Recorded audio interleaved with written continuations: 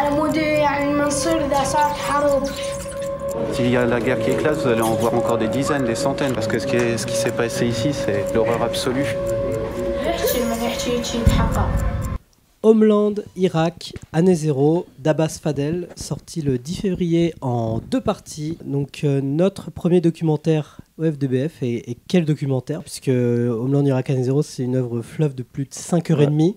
Pour le coup, ça peut faire un peu peur euh, comme ça, mais on voulait en parler, euh, on voulait en parler dans le, dans le FDBF. Et toi, Marc, ça t'a... Voilà, on a, on a bah, d'ailleurs avec euh, Alexis, on- honnêtement, on a hésité à en parler, mais je pense que c'est un film qu'il faut vraiment mettre en avant parce qu'on s'est posé des questions sur l'accessibilité du film. Sur, bah, en effet, c'est 5h30, bon, mais c'est un film qui est très important de mettre en avant. euh, pas juste parce que c'est un documentaire de 5h30 sur l'Irak. Euh, déjà, il est assez précis ce documentaire, c'est qu'il sort aujourd'hui en, en 2016, euh, enfin il a été fini en 2015, il sort en 2016, mais il parle de l'Irak de 2002-2003. Le film s'arrête en, en 2003.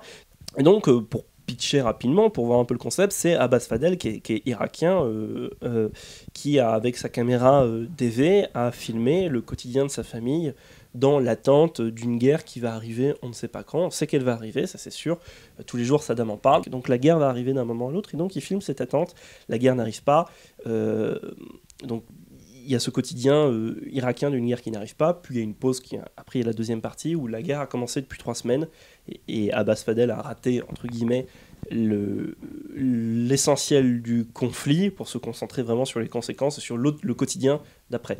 Donc c'est vraiment un film de quotidien, c'est ça qui est important, c'est que on parle de documentaire de 5h30 en Irak, ne pensez pas que vous allez voir des images de GIs euh, dans les rues de, Bagdad ou de, Bassora, ou voilà.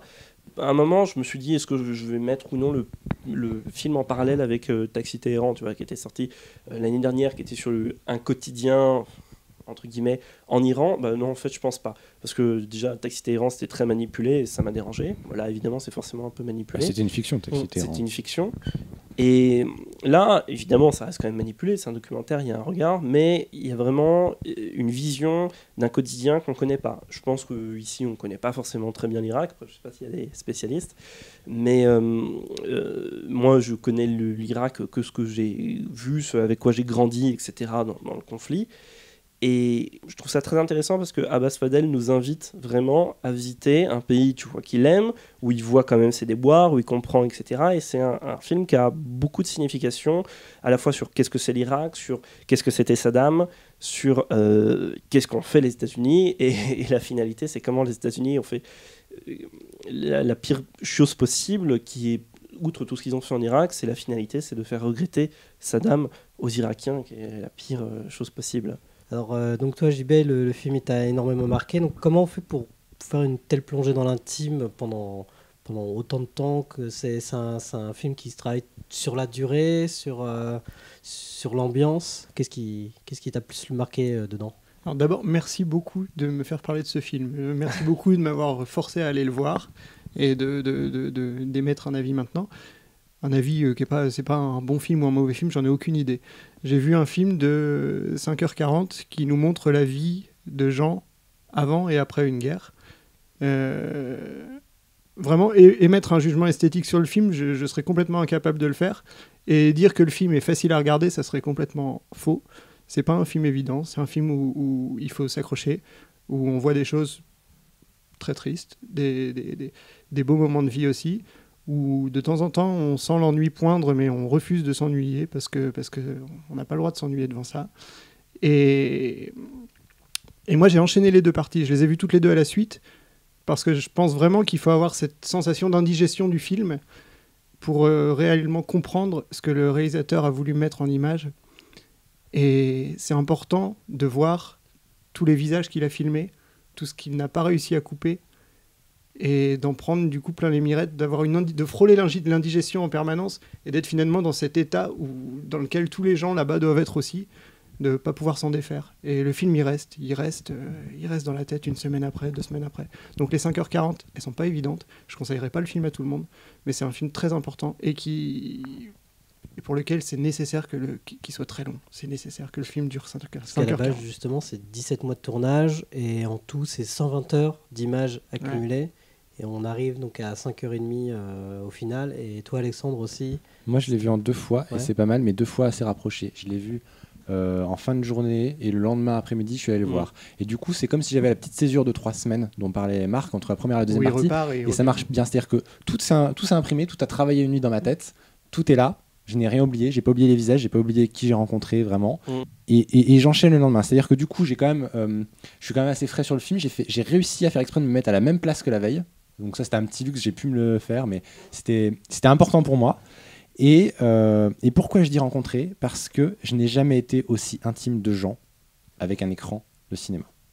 Fiction documentaire euh, inclus. Et ça joue pas que sur la longueur, même si ça joue, mais la manière dont le réalisateur il filme sa famille. hein. Il faut peut-être, je sais plus si du coup on l'a bien dit, Oui, mais il filme il beaucoup filme. sa famille, ses neveux, ses nièces, Euh, et il l'appelle oncle, enfin l'équivalent. Et on a, au bout d'un moment, j'ai l'impression qu'il me parlait à moi. Quand il disait oncle, j'ai l'impression que c'était moi. Ça, fait très très bizarre parce qu'en plus je pense qu'on est un peu aguerri quand même à avoir des films machin, on, on laisse pas avoir, mais c'est pas qu'on se laisse avoir là. Il nous parle vraiment. Il parle à la Il nous parle vraiment. Et si j'avais et si j'avais dû renommer ce film, si j'avais dû lui trouver un titre, moi je l'aurais appelé Mémoire d'outre-tombe. Parce que c'est un film. Il faut se dire que ce sont des trucs qui ont été tournés il y a 12 ans à peu près. Ouais. Que c'est un monde qui n'existe plus. Première partie, on voit un monde qui existait. Deuxième partie, on voit un monde qui a été détruit. On voit des décors qui n'existent plus, des ruines. On voit des gens qui parfois n'existent plus. Et même quand ils existent, ils ont complètement changé. Et je me disais des fois, certains gamins un peu ados, mais ils ont notre âge aujourd'hui. Ouais. Ça me fait très bizarre. Quand je vois un vieux film, je sais très bien. Mais là, je vois un film qui sort aujourd'hui, qui a été tourné il y a 12 ans. Et en même temps, j'ai l'impression que c'est hier, parce que pour moi, l'invasion américaine en Irak, elle, elle date d'hier. Ouais.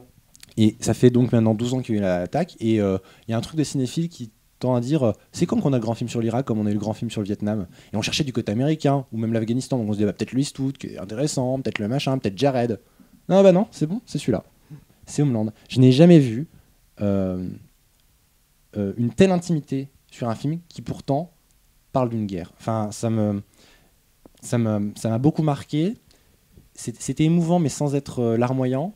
De temps en temps, on a, on- on- il parle avec quelqu'un, et puis il nous met euh, la personne décède, euh, elle meurt trois semaines après dans une attaque. Ça c'est brillant. Ça c'est brillant parce que c'est ça. On n'est pas sur des ressorts euh, scénaristiques habituels. On va pas nous dire euh, au moment où, où le personnage décède qu'il décède. Et va puis même, on le voit pas venir, on parce que euh, c'est un peu à échelle variable. C'est-à-dire que euh, tu vois la personne une deuxième fois, et puis ils disent bon bah il mourra Oui, deux ans après. ça.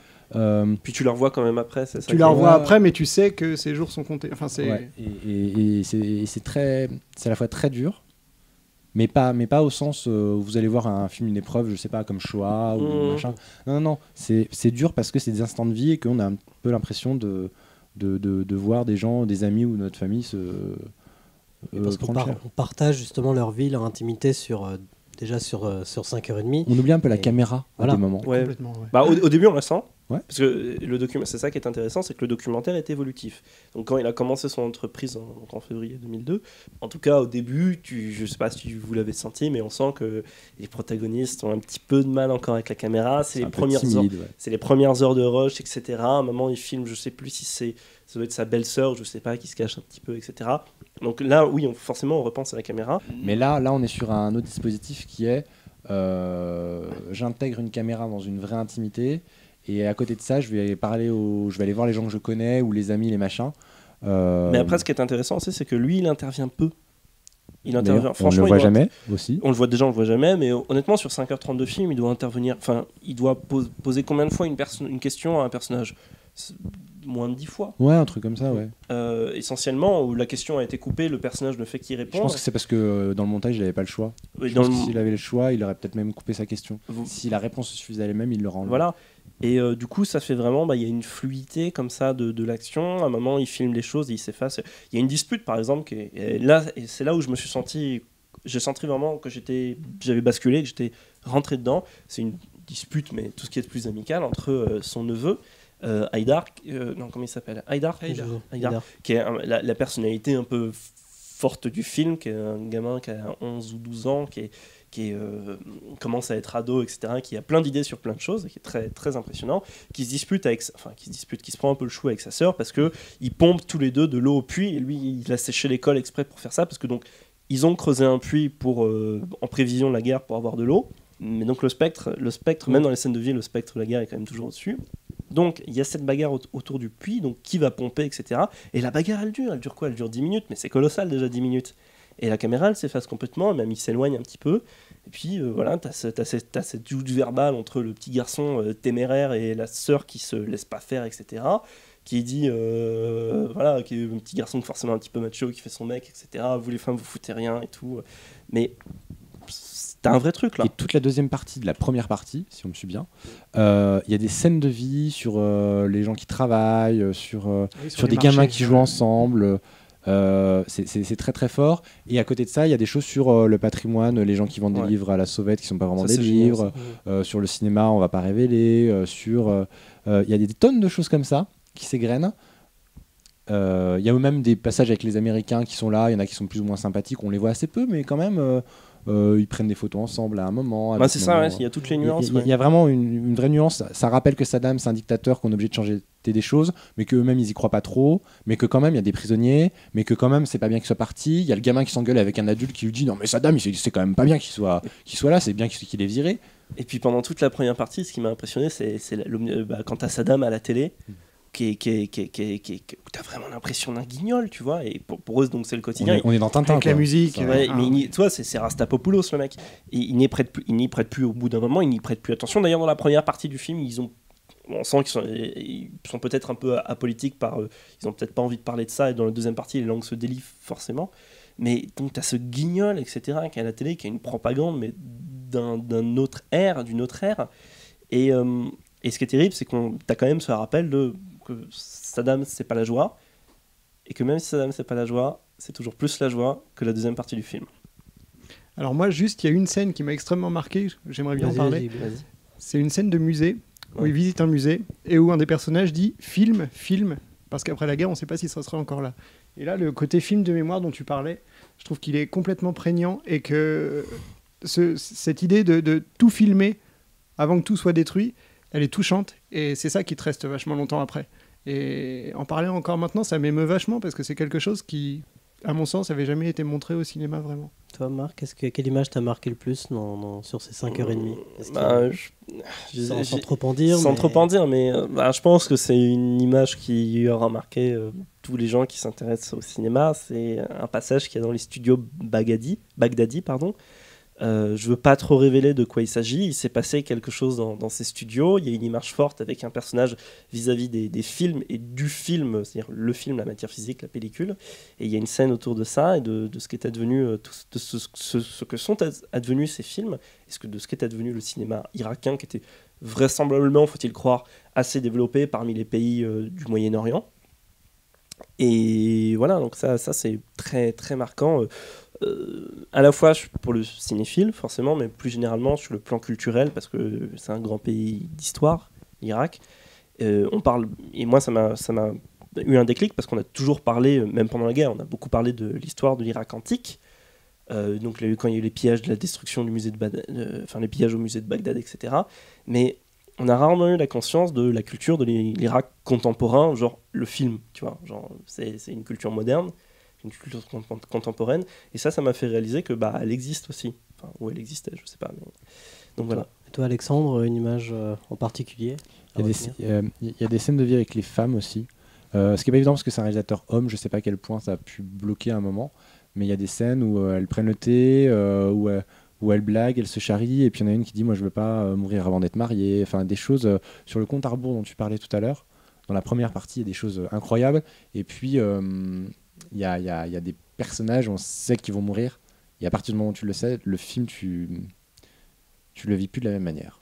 Voilà, donc euh, Homeland, Irak, année zéro. Donc euh, d'Abbas Fadel, sorti en deux parties le 13 février 2016.